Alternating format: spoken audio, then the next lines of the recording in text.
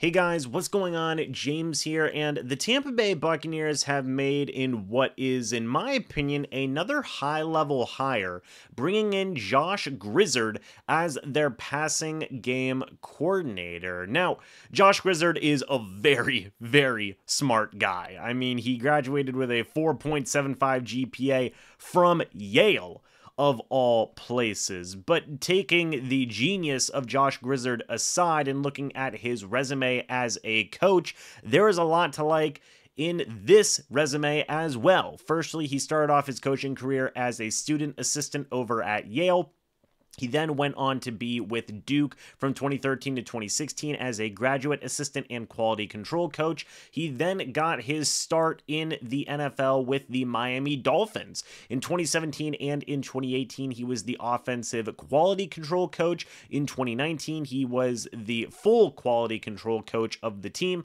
In 2020 and 2021, he was the wide receivers coach. Then in 2022 and 2023, he reverted back to the quality control control coach. Important thing to make a note of here is that he was a part of multiple regimes with the Miami Dolphins. And that's not something that is new. We've seen that happen with coaches in the past where they are just part of multiple regimes whenever new offensive minded coaches or new offensive coordinators are brought in.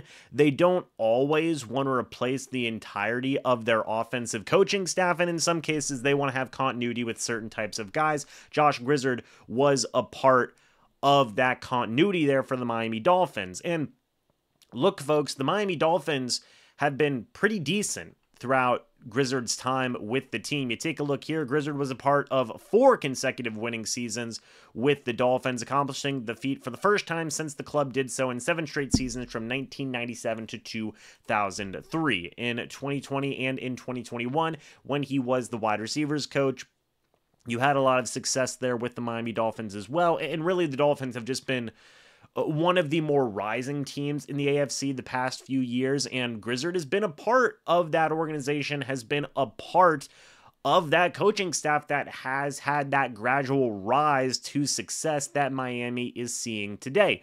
He's a very young coach as well, only 33 years old.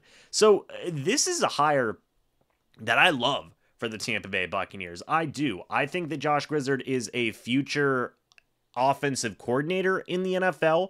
It helps that he's been a part of, you know, some really successful colleges in Yale and in Duke, and then transitioning to the Miami Dolphins, being a part of multiple regimes, especially a Mike McDaniel regime as well, which I think he is a, a fantastic head coach.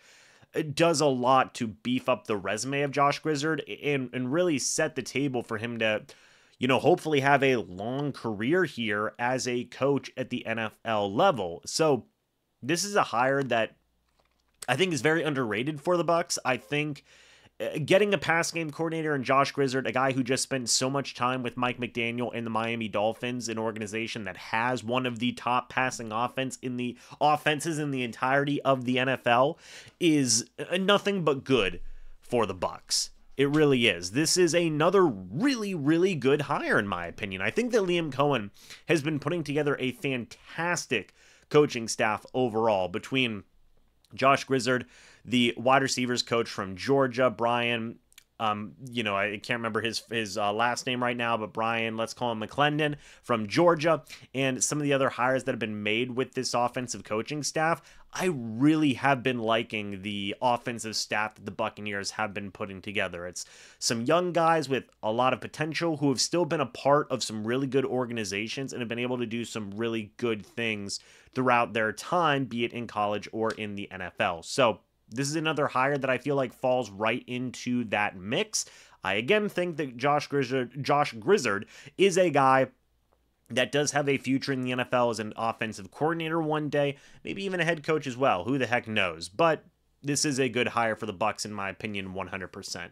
What do you guys think about this? Let me know your thoughts and opinions about this down in the comment section below. I would love to hear it. Thank you guys so much for watching this video. Hope y'all enjoyed. And as always, guys, I'll see you all in the next video or the next live stream. But until then, and as always, guys, goodbye for now and go Bucs.